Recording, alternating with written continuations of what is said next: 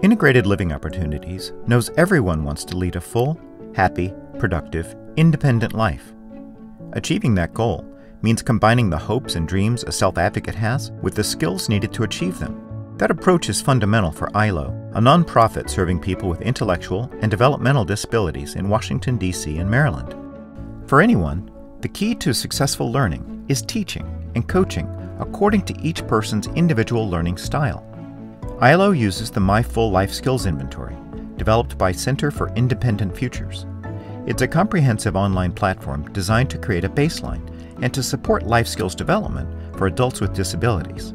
Through a questionnaire and direct observation of a self advocate, the inventory assesses current mastery of a wide range of skills and knowledge.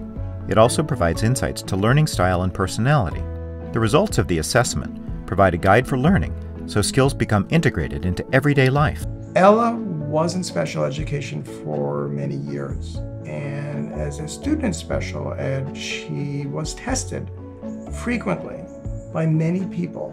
When we started the skills inventory process, we expected a similar kind of test, but were surprised by the test itself and by the usefulness of the results. Um, it's more directly useful than any test she's ever had before.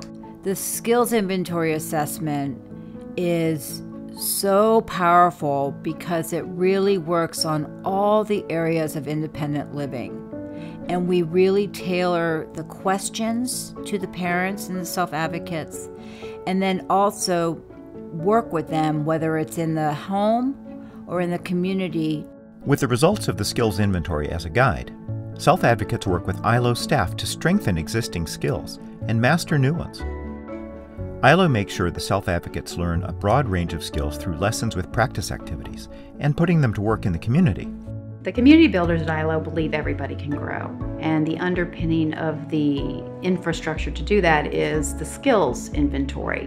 That skills inventory plays a role in every part of somebody's day. Having someone believe in you when you have a disability is probably one of the most important things that people need to learn if you believe that the person can do this, then they will have that belief. If you think that they can't do it and you come across that way, then nine times out of 10, the person is going to say, I, I can't do that. I, I don't even want to try. We as ILO staff um, believe that our self advocates have the ability to learn. Um, just because someone has a disability does not mean that they're not able. Ella's become a great meal planner. She plans by the week what she's going to have, what she's going to need, and then does what she needs to do and how she's going to prepare things. She's created a weekly schedule for taking care of the apartment. Everybody has hopes and dreams, whether they have a disability or not. Ellie and others with disabilities have a harder time getting to where they want to be in their dreams. So, ILO helps them through the skills inventory assessment and also working with them through our supports to make them succeed and be the person that they want and to achieve whatever hopes and dreams that they possibly fathom in their lifetime.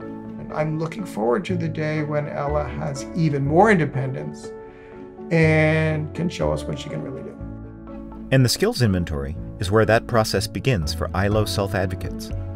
ILO's ongoing support builds community connections that self advocates and ILO families need to ensure long term stability and success in everyday life. If you or a loved one wants to learn more about the skills inventory and ILO's successful approach to long term independent living, email us at info at ilonow.org.